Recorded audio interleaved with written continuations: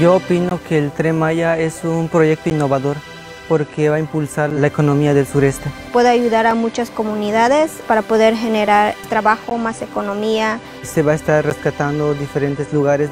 Ya que son los lugares los cuales han sido olvidados. En Quintana Roo tenemos muchos poblados, muchas comunidades. Quería saber acerca de, de, qué iba a tratar y de qué forma iban a tomar en cuenta a todos estos pobladores. Conocer la conservación que se está realizando. Mejores oportunidades. Mayor movilidad de los insumos de las comunidades hacia toda la parte peninsular. Conocer cuál es nuestra cultura, tradición. Podemos respaldar al tren Maya a través de más información, conocimiento acerca del proyecto. Ya que en la actualidad existe mucha desinformación. Yo considero que los jóvenes deben involucrarse porque ellos traen ideas innovadoras. No podemos ser apáticos a todos los proyectos o a todos los programas que el gobierno traiga para toda la sociedad sin tomar en cuenta a los jóvenes. Tenemos que ser agentes transformadores en cada uno de ellos. Estamos al sur de Mérida realizando prospección arqueológica. Estamos en el eje de trazo del tren Maya, tramo 3, realizando actividades de revisión, verificación y prospección para el INA. Tenemos que hacer labores de verificación y registro de monumentos arqueológicos para evitar el posible daño de estos. Nosotros como equipo de arqueólogos venimos entrando antes y a la par que con los trabajos de ingeniería.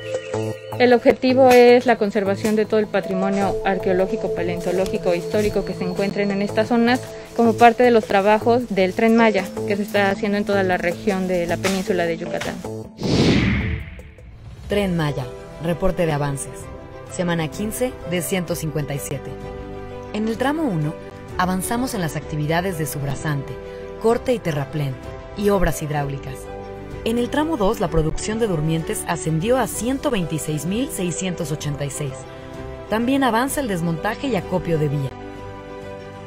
En el tramo 3, continuamos con las actividades y obras de drenaje transversal para construir alcantarillas tubulares y de marco. En el tramo 4, destacan las actividades de terracería y los estudios preliminares.